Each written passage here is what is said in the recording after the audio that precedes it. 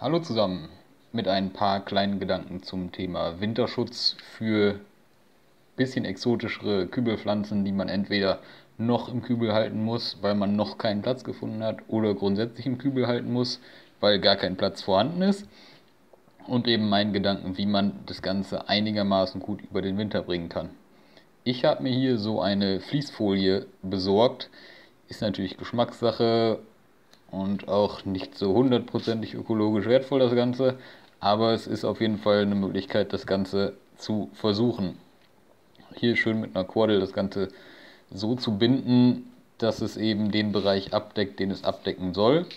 In dem Fall war es jetzt noch relativ warm in Anführungsstrichen, sodass ich vor allem hier nur den Wurzelbereich erstmal schützen wollte. Jetzt habe ich das Ganze mal exemplarisch etwas höher gemacht so kann man das Ganze eben bis auf eine Höhe von 2,50 Meter hochbinden und eben oben dann komplett verschließen. Bei der Folie würde ich auf ein gewisses Gewicht pro Quadratmeter achten, ist dann in Gramm angegeben. Das sollte nicht zu wenig sein, einfach damit das Ganze auch was bringt.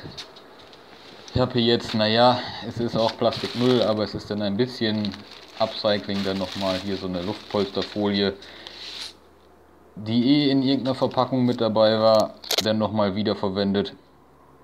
Man kann es ja machen, es ist ja nun mal sowieso da. So hat es wenigstens noch einen kleinen Nutzen. Ähm, kurz zum Standort. So ganz ideal ist das nicht, was ich hier mache. Steht hier eben auf einem Balkon in der Sonne und da erhitzt sich das eben, wenn es mal wärmer ist und wenn es nur 3-4 Grad ist mit der Sonne, wird es dann schnell noch mehr. Unten habe ich noch eine kleine Styroporfolie, um einfach ähm, den Wurzelbereich noch etwas frostsicherer zu halten. Jedenfalls wäre der idealere Standort, auch wenn es vielleicht erstmal kontraproduktiv klingt, ein möglichst schattiger Bereich.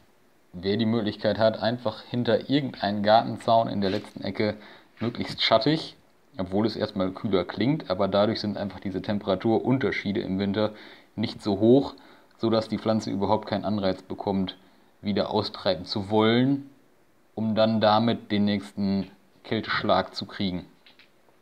Was mir hier ähm, auf dem Dachboden, ähm, auf dem Balkon einfach durchaus passieren kann. Wenn es zwischendurch mal 10 Grad ist, ist es für die Pflanzen das Signal, oh, wir können ja schon langsam in den Frühling gehen. Dann gibt es wieder einen auf den Deckel und hier sind eben in der Sonne die Temperaturschwankungen höher, als wenn ich das Ganze im Schatten überwintern würde. Also so eine Folie ist gut, möglichst durchlässig sollte sie trotzdem sein. Was abweisen, das sehen wir gleich auch nochmal kurz. Ähm, aber der Standort, den ich hier gewählt habe, ist nicht ideal. Ich habe keine andere Möglichkeit. Solltet ihr das haben, super. Vielleicht ist es eine kleine Anregung für euch.